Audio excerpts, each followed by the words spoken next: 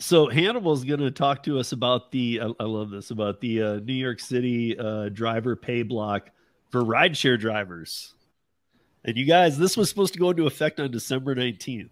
So of course it's happening right now. Happy Christmas, yeah, drivers. Yeah, uh, yeah. Uber decided to, uh, th- you know, be a Grinch in terms of stopping that. So about four days ago, December 11th, Uber sued uh, New York City Taxi and Limousine Commission (TLC) um, over the increased pay rates for the Uber drivers. The pay rates was going to go. Let me look up right. Um, per minute rates will go 7.18%, and their per mile rate will go up 16.11%. So Uber was crying. They're saying this is too much money. We can't afford this. This is uh, Uber said it's going to spend an extra 21 to 23 million dollars a month if this rule is going to go into effect. And of course, the company was going to say it was going to put, you know, push those costs to the riders, which is already it's pretty high as it is uh, to be, you know, to ride and do some of these apps.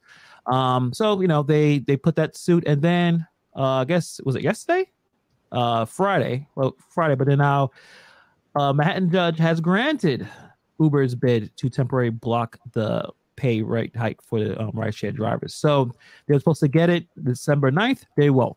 And I guess this will be going back and forth in court. Um, you know, I mean, TLC, they said they're going to re- appeal the decision. At this point it just goes into the whole court back and forth that type of thing. But if i was uber driver rideshare driver i would feel really disappointed in this in terms of you just another pawn in the back and forth games between tlc and uber. Um, I'm this is not going to stop riders or rideshare drivers to go out there because they they are making money. Um, for the most part, you just got to live in your car uh, because it, you know you're competing with a lot of drivers and, and and you know the money is good if you put in the hours to do so. But um, you know, Uber has to deal with a lot. Uber, DoorDash, all of them, because next year it starts in January. Food uh, delivery drivers are going to get seventeen dollars an hour. So I think Uber is looking at like how much money is this going to cost us with the ride share, with the increase of ride share, and the increase of food delivery. So I, I can see why they have to do this. That you know want to protect their you know their interests, but um, I don't know how it's going to go. I think of it, it may just still go on the side of the drivers to get that raise, but um, 20 something million dollars per month. I mean, yeah, that's any cost that a company would try to fight to um, not have to put out there. But I guess we'll see. The uh, the what you just spoke of too for the twenty three dollars an hour for delivery workers for I guess it's going to be active time or whatever.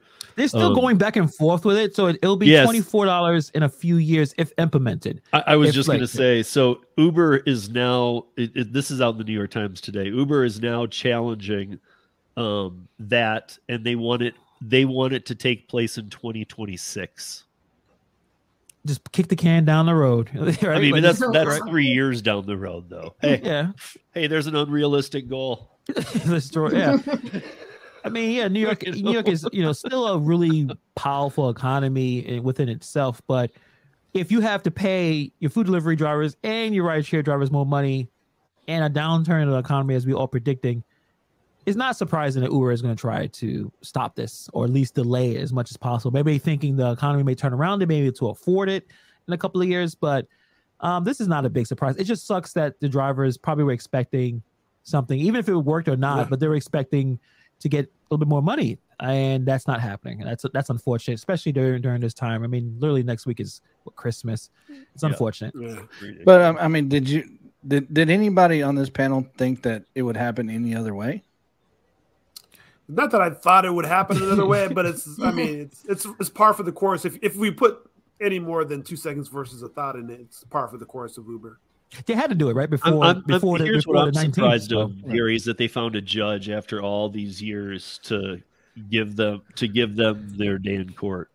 Like I, I, I thought the judges in New York had kind of had it with them. no, but they've done they've been down this road 100 or 50 times and every time have been shut down. Nope, nope, nope. We've let you appeal that too many times. Forget it. Yeah, they they they're going to ha- um hear you know, arguments um January thirty first.